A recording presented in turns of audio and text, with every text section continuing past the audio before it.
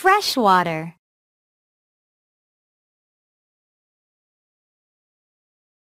About 3% of the water on Earth is fresh water.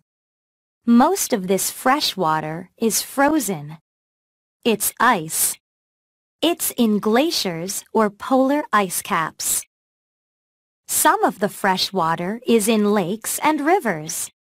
One of the biggest lakes on Earth is Lake Superior in North America. It's about 82,000 square kilometers. The longest river on Earth is the River Nile in Africa. It's about 6,700 kilometers long.